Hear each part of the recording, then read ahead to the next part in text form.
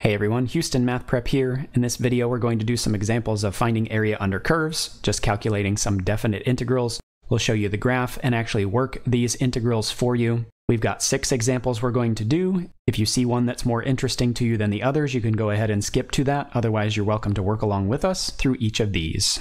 For the first one here, we have the integral of 6x minus x squared on the interval 0 to 6. So you can see this function would be a parabola that opens down. So for this first one here, each of these will be a power rule to do the antiderivative. So here the power will go up by 1, so we'll get x squared. We'll divide by the new power, which would be divide by 2. We already have a multiple of 6 out here though, so constant multiple 6 divided by 2 actually gives us 3x squared. Minus, power goes up by 1 here for our power rule, so it becomes x cubed.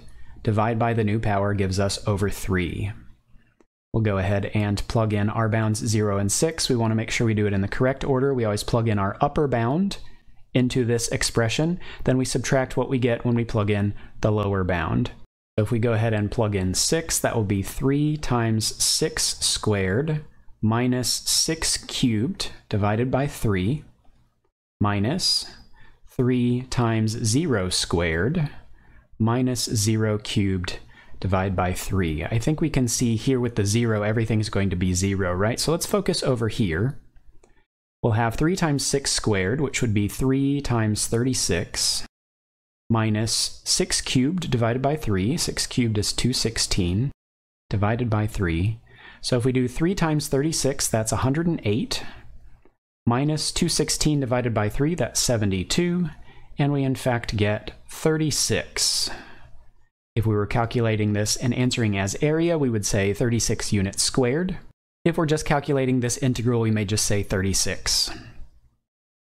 Looking at our second one, the integral from 0 to 4 of square root x dx. So I've drawn a square root function here. Let's go ahead and think of this root x as a power. Remember, we can think of the square root of something as that to the 1 half. So we'll think of this integral and use the power rule as x to the 1 half. If we take the antiderivative of x to the 1 half, remember we will add 1, so we'll get x to the 3 halves. We'll divide by the new power, divide by 3 halves as well. And we'll evaluate on the interval 0 to 4. Now divide by 3 halves, a fraction and a fraction is not so good. So I'm going to go ahead and bump that out and call it multiply by the reciprocal. So we're going to say 2 thirds x to the 3 halves and we'll evaluate that from 0 to 4. I could go ahead and bump my 2 thirds out if I want. Maybe I'll go ahead and do that. Let's say 2 thirds times, that would give me 4 to the 3 halves, minus 0 to the 3 halves. Now we just want to be careful about our power 3 halves here. What does this mean? Well, this denominator of 2 means take the square root, right? So both of these say take the square root. And then the 3 on the top of the fraction says, then cube whatever you get. So we would actually have, let's do the square root part first. If I just do the square root part, this becomes 2, so we'd have 2 cubed. Minus, if I take the square root of 0, I would still have 0, right? So each of these become cubes. And then we can think of 2 thirds times 2 cubed, which is going to be 8. 0 cubed is going to be 0. So we end up with 2 thirds times 8, and that gives us 16 thirds. Looking here, we have the integral from 1 to e, the constant e, of the function 1 over x dx. So we have the function 1 over x. Remember, e is about 2.7-ish and some change, so we have the area underneath this from 1 to a little beyond 2.7. Remember that this looks like a power rule, but this is actually the derivative of a function that we know called the natural log. So we take the antiderivative of 1 over x, we actually get the natural log of absolute value x, evaluated from x equals 1 to x equals e, now I can look here and notice that e is a positive number and 1 is a positive number, and when I plug those in, I'm just going to get positive numbers. So evaluating these, I don't really need my absolute value at this point since I'm plugging in only positive stuff. So that will give us the ln of e minus ln of 1. Now these are actually numbers that we should know. What is ln of e? ln of e is actually 1. And what is natural log of 1? What is log of any base of 1? It's 0. So we get 1 minus 0. and this is actually 1. This tells us a neat thing about the graph of 1 over x. This tells us that the area between 1 and e, this is actually exactly 1 unit. Let's look at our next one here. We have the integral from 0 to 1 of e to the x dx. So I've got my representation. Here's exponential growth, e to the x, and there's x equals 0 and x equals 1. So this is really also calculating the area in here. Let's go ahead and do our easy antiderivative of e to the x. What is it? Of course we know, right? It's e to the x because the derivative of e to the x is itself. We'll evaluate from 0 to 1. Maybe this one's too easy for us. It could be. So if we plug in 1, we'll get e to the 1 minus, when we plug in the lower bound, we'll get e to the 0.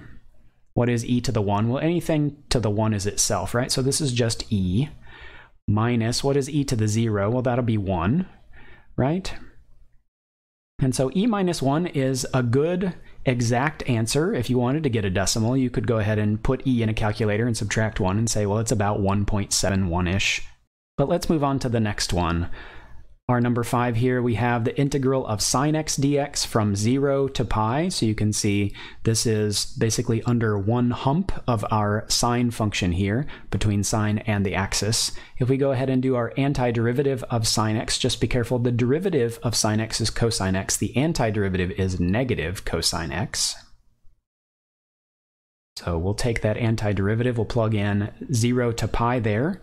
Make sure you do it in the correct order. So plugging in pi first, we'll get negative cosine of pi minus, plugging in the lower bound, negative cosine of 0.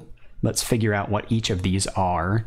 Cosine of pi, that's on the left side of the unit circle. So cosine of pi itself is already negative 1, but I have a negative in front of that, so that's actually positive 1. And then here I have minus negative, I'll just call that plus. What is cosine of 0? Cosine of 0, 0 is an angle on the right side of the unit circle, so its cosine value is 1, right? So we get 1 plus 1 there, and that gives us 2. So actually the area of one hump of the sine function here, we actually have 2 units of area there. And let's look at our last one here. We have this nice gently sloping function here, 1 over 1 plus x squared. We're going to integrate that dx from 0 to 1, so you can see this region here represents this integral. What is the antiderivative of 1 over 1 plus x squared? We should know that. It's a definition, actually. It is the inverse tangent of x, right? So this inverse tangent of x has a derivative of 1 over 1 plus x squared. So the antiderivative of 1 over 1 plus x squared is inverse tangent of x. Now we have to plug these in and do the subtract, right? So we'll have the inverse tangent of 1, and then we'll subtract the inverse tangent of zero. Now remember, inverse functions just ask you about the angle, right?